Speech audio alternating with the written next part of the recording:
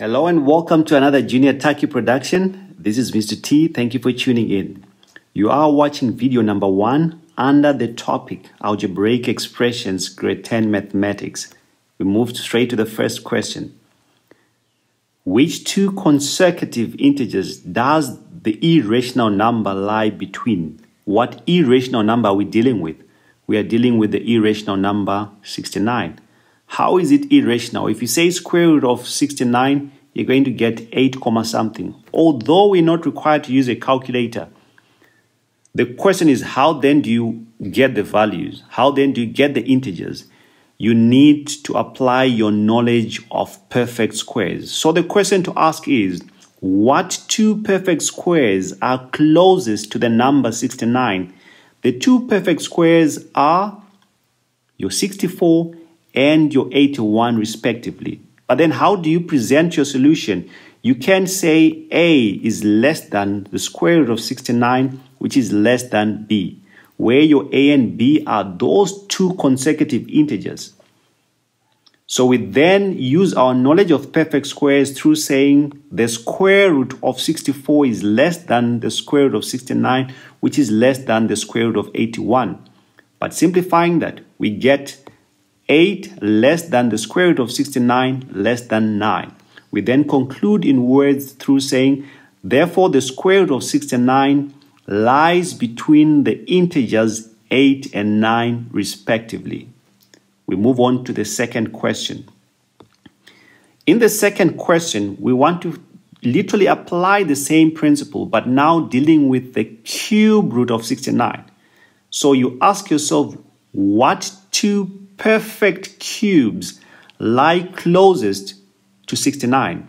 The two will be the cube root of 64 and the cube root of 125. Same presentation, we say A is less than the cube root of 69, less than B. We move ahead and say the cube root of 64 is less than the cube root of 69, less than the cube root of 125. Simplifying that, we get 4 less than the cube root of 69 less than 5. We then conclude and say, therefore, the cube root of 69 lies between 4 and 5 as our consecutive integers. We move on to the next question. In the next question, they say express each number as a common fraction or in the form a over b. What are we given? We are given 0,3 and it's recurring. That dot on top of 3 is saying it's recurring. And if you were to expand that, you're going to get 0,333333 up to infinity. So to get the fraction that is equivalent to that 0,3 recurring, equations come in handy. So we're going to start by saying let x let your x be equivalent to that recurring decimal 0.3 and we make that our first equation. Because our decimal fraction, our decimal is recurring after every tenth, we multiply by 10. So we're going to say equation 1, the whole of equation 1 times 10. If we do that, we're going to say 10 times x. So we are saying 10 times x. That 10 times that x. That gives us 10x is equals to 3 comma 3 as well. So as we multiply the whole equation 1 by 2, we're going to get 10x is equals to 3 comma 3 recurring, giving us or giving rise to the second equation. What then do we do after here? We're going to say equation 2 minus the first equation. Equation 2 minus the first equation getting 10x minus x is equals to 3 comma 3 minus 0 comma 3 all of which are recurring.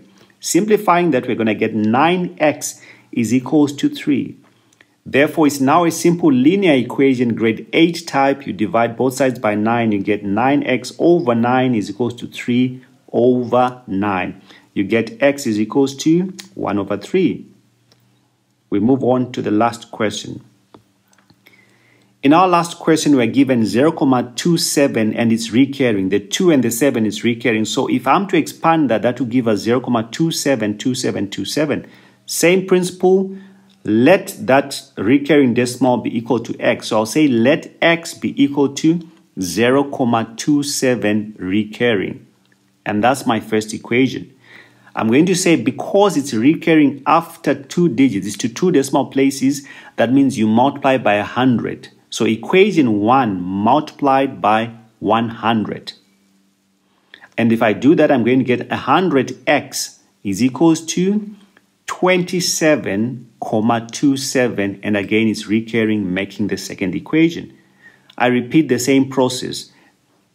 Equation 2 minus equation 1 and that will give us 100x minus and x is equals to 27,27 minus 0,27 and again it is recurring. Simplifying that, we're going to get 99x is equals to 27. Then simplifying that or dividing by 99, both sides, we're going to get 99x over 99 is equals to 27 over 99. Simplifying that, we get our x to be equal to 3 over 11. You can always verify your answer through punching or pressing 3 over 11 in your calculator and pressing the SD button so that you can confirm that you're getting 0.272727. I hope you enjoyed watching that. Look out for the next video. Bye bye.